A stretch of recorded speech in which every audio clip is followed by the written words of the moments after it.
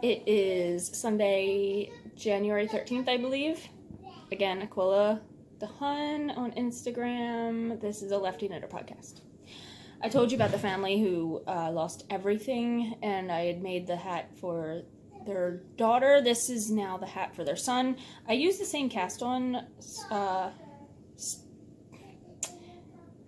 cast on the same amount of stitches as the photographer hat by Lavanya Patricella. I just did it different. I only did so much of the ribbing. He's younger, so I don't know if he would actually like a slouch hat, so I'm just not doing it in that style. And then I did a few alternating rows, and now I'm just doing stockinette. Love you, mother. Say okay.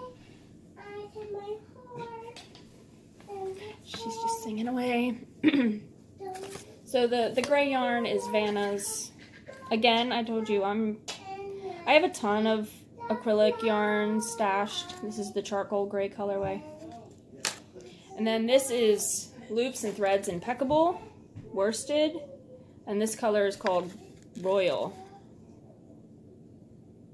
So I'm actually getting ready to do the decrease rounds. So like I said, I'm following pretty much the pattern, except I didn't do all the ribbing, and I did um, more the stockinette for this one. More like, it'll be more beanie style is what I was going for. So here's the start of my week. I will have this done tonight.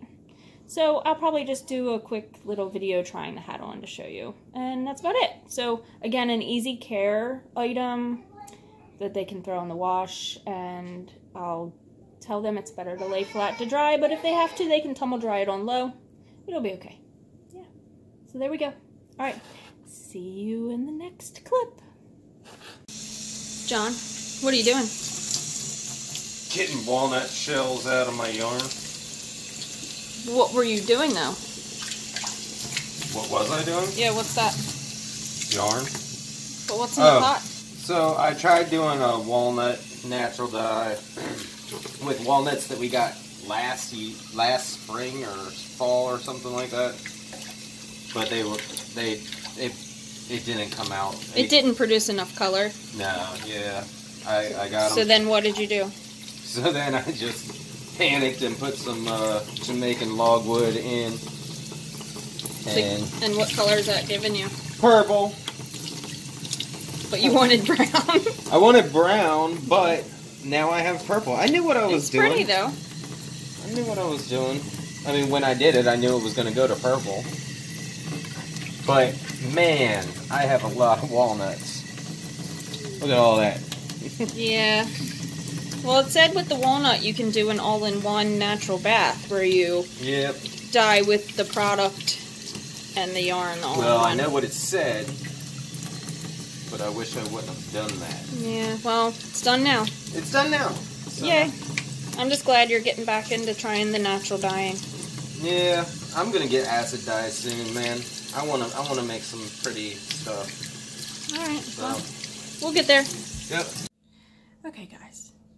I am hoping to donate, or donate, I'm hoping to give this hat to my friend's family today, so I'll be dropping it off, and I wanted to do a quick video. So there it is. Again, I followed the numbers for Lavanya's pattern for the cast on. I just did less ribbing, more stockinette, and I knit to 8 inches and then did the decreases, so it's really not slouchy. Fits my head a little big, so elementary school kid might fit even a little bigger, but it's super cute and it'll be warm, and that's really what matters. All right, so I just wanted to pop that in before I have to give it away. All right. This is why I don't like doing my podcast in the winter because we don't have good light in our house and uh so sorry. I just wanted to show you real quick cuz my it keeps focusing funny. Ah, okay. I made the beloved bonnet. I actually made three of these, and this is by Tin Can Knits. I'm sure you've probably seen it.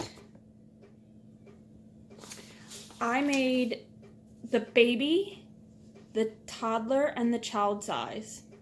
Now I have the child one. Oh, goodness gracious. This is, uh, yeah, oops, not working. I usually have it propped up better. Again, apologize. so this is uh, my daughter's. This is the back, and it has all this stretch to it. Again, this is the child size. But I wanted to tell you, the pattern's great. It was really great for in the snow because we were able to tie it down and only like the front of her face was showing and it kept her really, really warm in the snow. But I used a, a workhorse yarn once again, Bernat Softy Baby. And this is a DK weight yarn. Excuse me. It's 362 yards in a ball. This was the gray marl. I got all three hats out of one ball of yarn. So if you're looking to crank out quite a few hats in a great workhorse yarn that, I mean, this is 100% acrylic. Again, easy to take care of. And I still have this much left. Not that it's much, and I don't know what I'm going to do with it, but I just wanted to put that in there because I've already gifted the other two uh, to sisters, and they sent me a picture today of them both wearing it. Super cute. So, yeah. The Tin Can Knits patterns are great. They go from, like, newborn to, like, I don't even know. Like, sweaters can go up to, like, XXLs, and the hat went all the way up to adult sizes. So, yeah. Tin Can Knits patterns I highly recommend. This was really nice to work with, and again, I got three bonnets out of it, three different sizes. And I used the needles that the, the pattern suggested. So, there you go, beloved bonnet. This so far has been the year of repeat patterns. I've made, well, two ripple blankets, I'm starting a third. Now I'm making the third photographer's hat, which is Lavanya Patricella. Now this one, I am using a different weight yarn, which I the first one I made with that Caron Simply Soft. They consider Caron Simply Soft an Aran weight yarn. And I think that's just really ridiculous, but whatever. So this yarn is hand dyed by my husband. And this is a mix of merino and alpaca. He bought this kit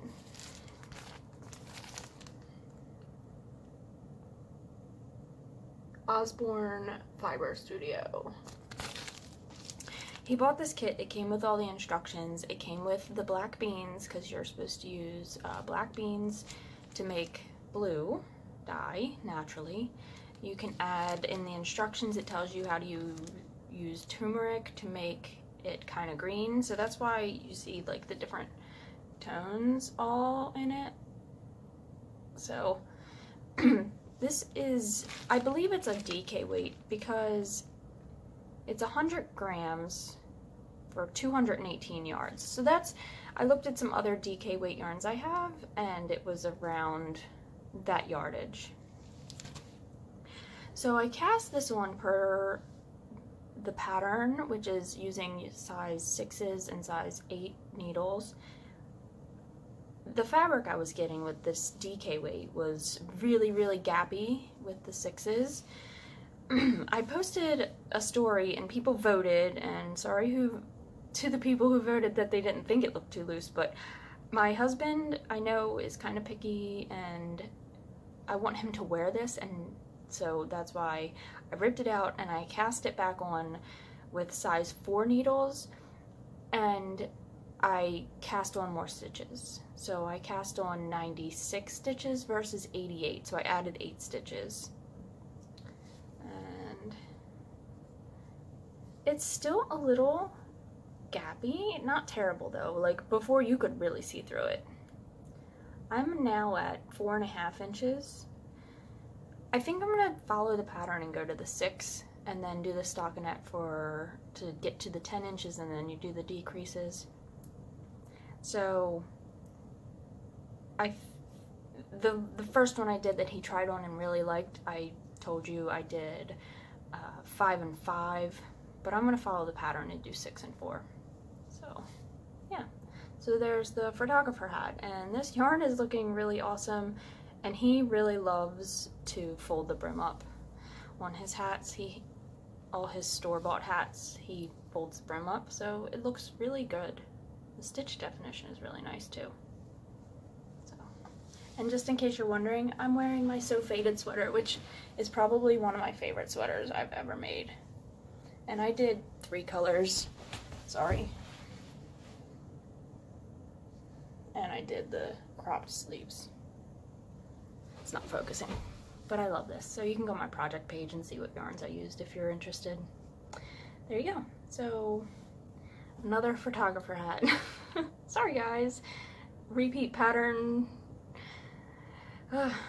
But when you find a good pattern, you you utilize it a lot more often. So at least that's my opinion. Hayes, what you doing? Eating snow.